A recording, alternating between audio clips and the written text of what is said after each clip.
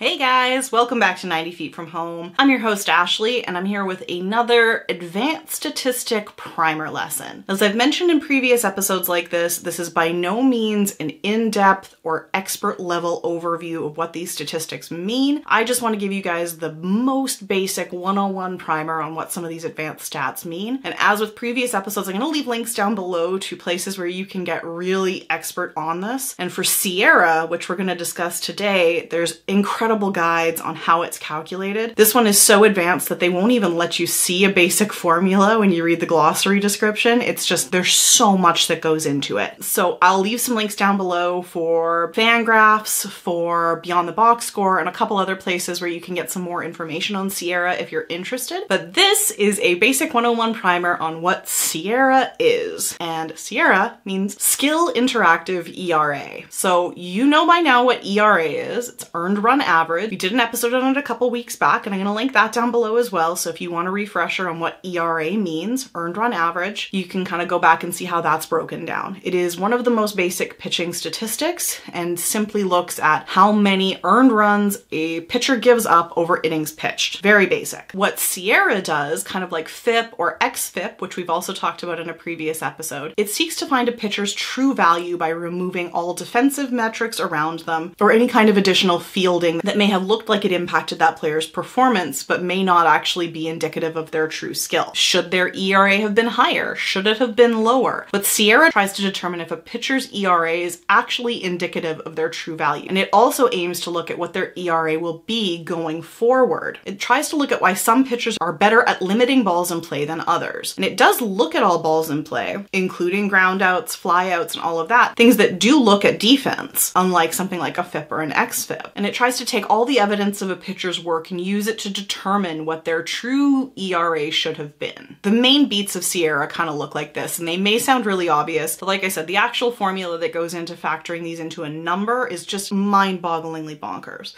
But at its core level, SIERA says strikeouts are good. We kind of know that. Strikeouts mean there are no balls in play. So a high strikeout pitcher is likely generating a lot of weaker contact, and as a result, they're going to give up fewer hits and fewer home runs. Walks are bad also obvious because we know that as base runners are created, scoring opportunities go higher. So if a pitcher walks a lot of batters, that means that they're more likely to give up a lot of runs. Basically, the fewer walks a pitcher gives up, the better their numbers are going to be. Then it looks kind of at the different types of hits that can be achieved. So ground balls, ground balls go for hits more often than fly balls, but ground balls can also be turned into double plays, which can impact a player's BABIP, which we discussed in a previous episode. Fly balls go for hits less often, but if they fall, they have more of an opportunity to go for an extra base hit. So these are some of the factors that are looked at when we look at something like SIERA. Now, the way SIERA is formatted is meant to be very easy to read for anybody looking at pitching statistics in that it looks exactly like ERA, FIP, or XFIP, the number dot number number scheme. And just like those other ones, the lower that number is, the better the pitcher's overall quality. Now, an interesting thing about SIERA is that relief pitchers actually tend to have better SIERA numbers than a starting pitcher. And this may be due to the fact that they're used in specialized situations. And even though all pitchers' main jobs is to get an out,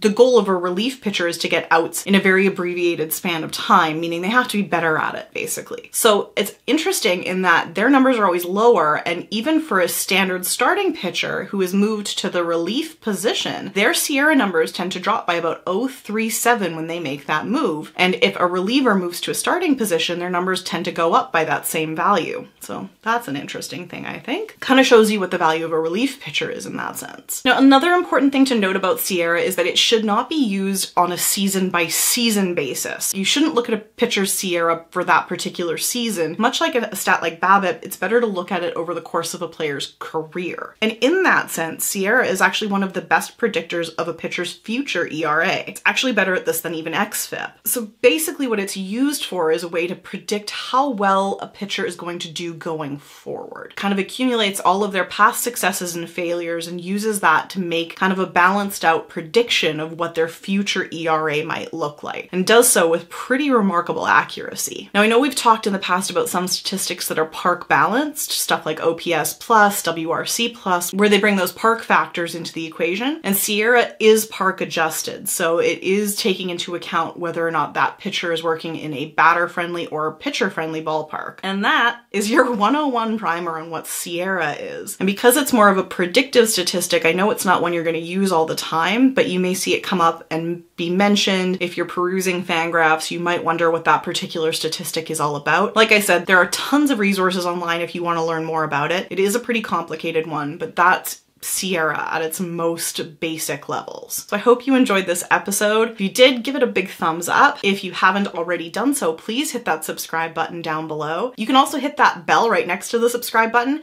if you'd like to be notified every Tuesday, Thursday, and Saturday when a new episode goes live. I've kind of been messing around with the release times, trying to pick the best time for most views, um, so it may be helpful to know when those episodes go live if you're looking for them. Otherwise, you can also follow me on social media. I'm at 90 feet from home everywhere, everywhere social media exists. So give me a follow there, give me your episode suggestions, leave a comment down below. Please share these videos with your friends or on your social media feeds. It helps new people find this channel. And I'm always hoping to bring new people in and hope that everybody enjoys these. Because my main goal here is to help everybody understand and enjoy baseball better. I hope you enjoyed this episode and I will see you guys back next time. Thanks so much. Bye.